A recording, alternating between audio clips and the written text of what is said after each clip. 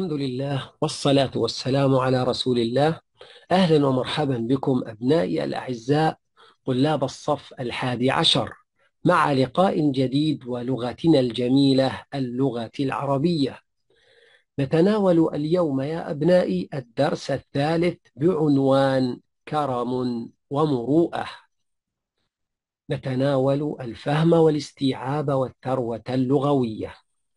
وقبل أن نشرع يا أبنائي في قراءة النص نتعرف على شاعرنا حاتم الطائي فهو شاعر عربي نجدي أمير قبيلة طيء النجدية عاش في فترة قبل الإسلام أي عصر الجاهلية. اشتهر بالفروسية وبكرمه وأشعاره وجوده ويقال إنه أكرم العرب. ابنه عدي بن حاتم من صحابة النبي صلى الله عليه وسلم. وفي هذه القصيدة يا أبنائي يخاطب الشاعر زوجته ويرد على لائميه ليبين لهم فلسفته في الحياة ونظرته إلى المال فهو يتصف بالكرم والمروءة والشهامة وأن المال يذهب ويجيء. وتعالوا لنقرأ القصيدة ونفهم المعاني الواردة. أماوي قد طال التجنب والهجر وقد عذرتني من طلابكم العذر. أماوي إن المال غاد ورائح ويبقى من المال الأحاديث والذكر. أماوي إني لا أقول لسائل. إذا جاء يوما حل في مالنا نزر. أماوي إما مانع فمبين وإما عطاء لا ينهنهه الزجر. أماوي ما يغني الثراء عن الفتى. إذا حشرجت نفس وضاق بها الصدر. إذا أنا دلان الذين أحبهم لملحودة زلج جوانبها غبر وراحوا عجالا ينفضون أكفهم. يقولون قد دم أناملنا الحفر أماوي إن يصبح صدايا بقفرة؟ من الأرض لا ماء هناك ولا خمر. تري أن ما أهلكت لم يك ضرني وأن يدي مما بخلت به صفر. أماوي إني رب واحد أمه أجرت فلا قتل عليه ولا أسر. وقد علم الأقوام لو أن حاتما أراد ثراء المال كان له وفر. وإني لا آل بمال صنيعة فأوله زاد وآخره ذخر. يفك به العاني ويؤكل طيبا. وما إن تعريه القداح ولا الخمر. ولا أظلم ابن العم إن كان إخوتي. شهودا وقد أودى بإخوته الدهر. عنينا زمانا بالتصعلك والغنى كما الدهر في أيامه العسر واليسر كسينا صروف الدهر لينا وغلظة وكلا سقاناه بكأسيهما الدهر. فما زادنا بأوا على ذي قرابة غنانا ولا أزرى بأحسابنا الفقر. فقد من عصيت العاذلات وسلطت. على مصطفى مالي أناملي العشر. وما ضر جارا يا ابنة القوم فاعلمي. يجاورني ألا يكون له ستر. والآن يا أبنائي بعد أن استمعنا إلى هذه الأبيات وتعرفنا على المعاني الواردة تعالوا لنناقش بعض الأسئلة حول هذه القصيدة. السؤال الأول يا أبنائي يقول وضح العادات التي افتخر بها الشاعر في القصيدة. ويتضح يا أبنائي من العنوان أن الشاعر يفتخر بماذا؟ يفتخر بجوده وإنفاقه في وجوه الخير. يفتخر بكرمه ومروءته كما يفتخر أيضا بسخائه وإشباع الجائع. وهذا يا أبنائي من عادة العرب وكرمهم ومروءتهم.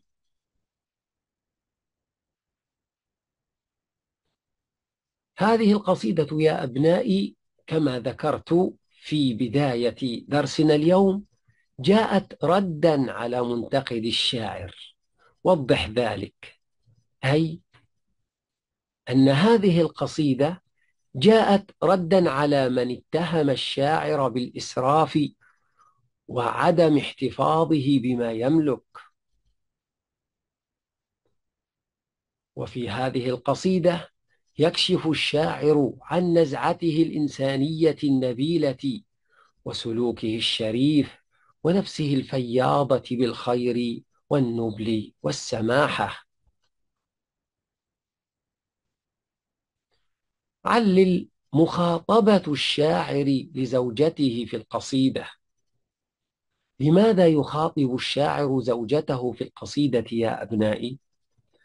يخاطبها لأنها كانت راويته. أيضا إظهارا لتقديره لها.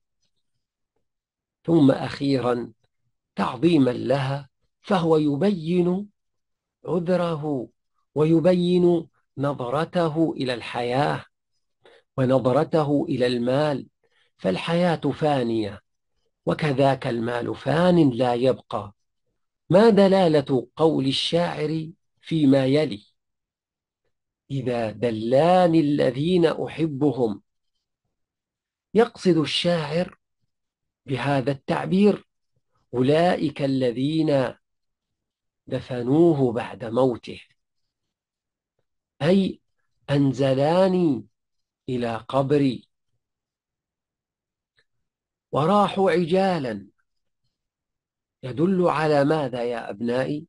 يدل على سرعة انصراف المشيعين له بعد الدفن. كذلك عندما ينادي الشاعر على زوجته يا ابنة الأقوام أو يا ابنة القوم فيقصد بذلك التعظيم من شأن زوجته. لم يكن البذل يا أبنائي عند حاتم سعيا لود أو كسبا لمحمده. وضح ذلك. إذا لم يكن هذا البذل الذي بذله حاتم سعيا لود أحد أو كسبا لمحمدة الناس فلما كان يبذل؟ ولما كان يعطي؟ ولما كان يجود؟ وضح ذلك. نقول كان يعطي وكان يبذل المال لأنه كان يفك العاني ويطعم الجائع ويساعد المحتاج. وكان ذلك أيضا بسبب مروءته ونبل أخلاقه. بين العاطفة المسيطرة على الشاعر من خلال الأبيات مستدلا. العاطفة المسيطرة يا أبنائي على شاعرنا هي الفخر بنفسه وبقومه فهو يفتخر بماذا؟ يفتخر بنفسه. وبقومه وبكرمه ومروءته ويعتز بهذه العادات. الدليل على ذلك ما ذكره الشاعر حين قال وقد علم الأقوام لو أن حاتما أراد ثراء المال كان له وفر. فما زادنا بغيا على ذي قرابة غنانا ولا أزرى بأحسابنا الفقر. استخلص جوانب القدوة في شخصية الشاعر مستدلا. الجوانب التي نقتدي بها في شخصية هذا الشاعر يا أبنائي واضحة جلية. مثل حب الخير مساعدة المحتاج.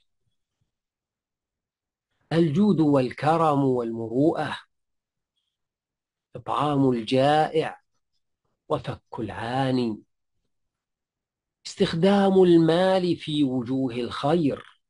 كل هذه يا أبنائي جوانب نقتدي بها في شخصية شاعرنا. الدليل قول الشاعر وإني لا آل بمال صنيعة أي لا أقصر في بذل المال من أجل صنع المعروف فأوله زاد وآخره زخر يفك به العاني ويؤكل طيبا وما إن تعريه القداح ولا الخمر. دلل على ما يلي. ما الدليل يا أبنائي على خبرة الشاعر بالحياة الاجتماعية؟ الشاعر خبير بالحياة الاجتماعية وبظروف مجتمعه التي يعيش فيها. ما الدليل على ذلك؟ الدليل يا أبنائي أنه بين لنا أن المال يأتي ويذهب فهو يدرك حقيقة الحياة. خبير بها. كذلك يا أبنائي يرى أن الغنى لا يحفظ الذكر إنما السيرة الطيبة تحفظ ذكر صاحبها. كذلك الدليل على خبرته علمه أن الدنيا فانية ولا يبقى منها إلا المعروف والذكر الحسن.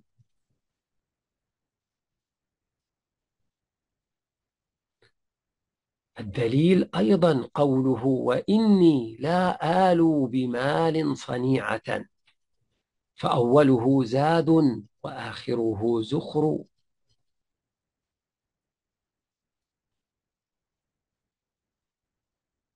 دلل على نبل أخلاق الشاعر وشهامة الفارس فيه. الدليل أنه يطعم الجائع ولا يرد السائل. ويغيث الملهوف. حين قال أماوي إني لا أقول لسائل إذا جاء يوما حل في مالنا نزر. تقدم هذه القصيدة يا أبناء صورة مثالية لمروءة العربي وكرمه وشهامته. وضح ذلك من خلال فهمك للأبيات. نعم بالطبع يا أبنائي هذه القصيدة تقدم لنا صورة مثالية ترسم لنا نموذجا رائعا لمروءة العربي وكرمه. الذي يمتاز بكرمه ومروءته وشهامته. الذي يغيث الملهوف ويطعم الجائع ويفك العاني الذي يعتني بأهل بيته. الذي يعطي ويعلم جيدا أن هذا العطاء هو الباقي للإنسان بعد موته. أما عن الثروة اللغوية والمترادفات فالكلمة الأولى مترادف عذر. والعذر أي السبب الذي يرفع اللوم. مانع أي ممسك. ينهنهه أي يكفه ويمنعه. غاد ذاهب في أول الصباح. مبين أي واضح ظاهر. الزجر النهي والنهر. لا آل أي لا أقصر. صنيعة أي عملا للخير والإحسان. زلج أي بعيدة ملساء. حل في مالنا نزر أي قلة. إذا حشرجت نفس أي أشرفت على الموت رائح أي عائد بعد العشي. أجرت أي أغثت ملحودة أي مدفونة في القبر. الجمع والمفرد. مفرد القداح القدح. جمع كلمة الدهر الدهور وجمع كأس كؤوس وجمع ستر ستور وأستار جمع صنيعة صنائع. مفرد غبر. أغبر. أكمل الجمل الآتية بتصريف مناسب من كلمة سأل. كلكم راع وكلكم مسؤول عن رعيته. كان حاتم الطائي لا يرد سائلا. راجعت معلمي في مسألة وأجبت أخيرا عن أسئلة الكتاب. هذه يا أبنائي تصريفات من كلمة سأل. أما عن المعنى السياقي لكلمة نفض فالسؤال يقول وظف أو استخدم كلمة نفض في سياقين مختلفين في جملتين من إنشائك. نفض الرجل عن يده التراب. نفض الهموم عن رأسه.